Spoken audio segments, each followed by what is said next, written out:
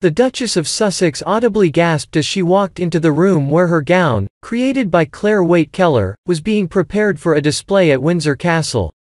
Meghan also revealed to the curator that a piece of blue fabric from a dress she wore on her first date with Prince Harry was stitched into the lining of her wedding dress as her something borrowed. Kate was joined by the Queen as she was reunited with her wedding dress three months after the Duchess' marriage to Prince William in April 2011. The monarch and her granddaughter-in-law were given a tour of the display, which had a 3D effect, complete with Kate's borrowed Cartier halo tiara. The satin and lace gown, made by Sarah Burton for Alexander McQueen, went on display at Buckingham Palace during its annual summer opening. Princess Beatrice has been reunited with her vintage wedding dress ahead of the gown going on public display at Windsor Castle from Thursday the 24th of September. The 94-year-old monarch loaned Beatrice one of her Norman Hartnell gowns, which was altered for the royal bride for her wedding day.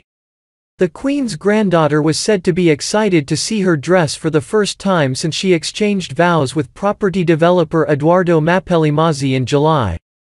The Duke of York's youngest daughter got another glimpse of her wedding dress in 2019 before a royal wedding exhibition at Windsor Castle. Eugenie beamed as she toured the display, which included her Peter Pilotto gown alongside the suit worn by her groom, Jack Brooksbank, at their October 2018 wedding.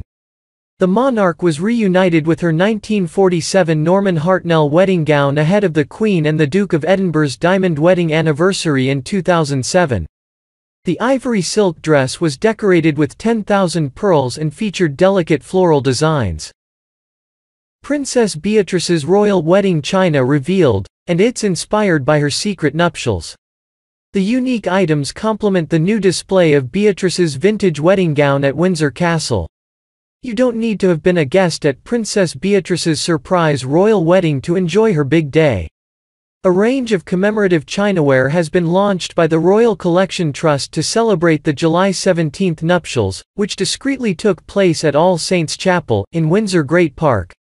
Just 20 close friends and family attended the service, including Queen Elizabeth, 94, Prince Philip, 99, sister Princess Eugenie, 30, and Beatrice's father, Prince Andrew, 60.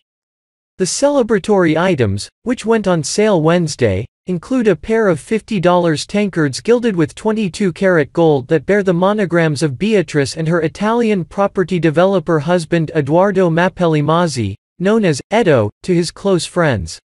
The delicate wedding tankards were made in Stoke-on-Trent, England, an area known as the Potteries, for its long history of ceramic expertise, using traditional methods that have remained unchanged for more than 250 years. They're also complemented in the collection by an equally delicate China royal wedding pillbox, $45, which bears Beatrice's monogram on the lid and Edo's on the inside.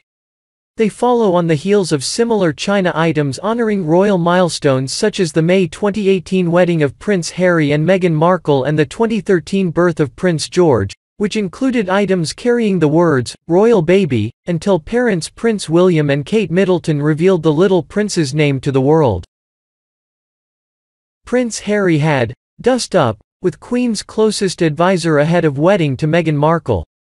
Prince Harry and Meghan Markle's spectacular royal wedding was every bit the fairy tale. But there were moments of tension ahead of the big day including a dust up between Harry and one of the Queen's closest confidants, book Finding Freedom has claimed.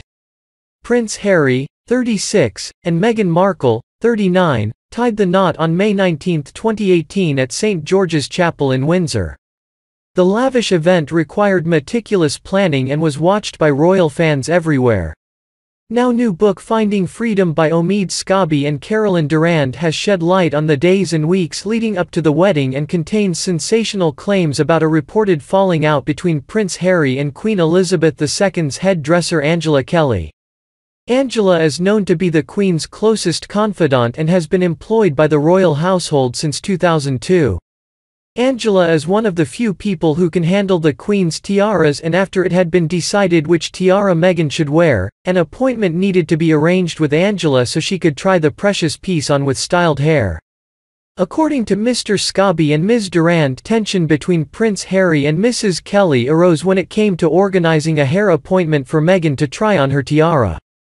The book claims Harry felt Angela was ignoring his requests to book in a hair appointment for Meghan. Mr. Scobie and Ms. Durand write, like most senior staff at Buckingham Palace, Angela is on call should Her Majesty require her service, and at the time of the first hair trial requests, she had apparently been busy at Windsor Castle, where the Queen was based for Easter Court. Mr. Scobie and Ms. Durand claim Harry's frustration culminated in a heated exchange between him and the Queen's head dresser. The authors claim the tiara trial issue continued to be a source of tension with the wedding just a few weeks away. According to Mr. Scobie and Ms. Durand, Prince Harry ultimately went to the Queen to seek help with the issue. They write, in the end, Harry had to speak to his grandmother about the situation. And she got her trial.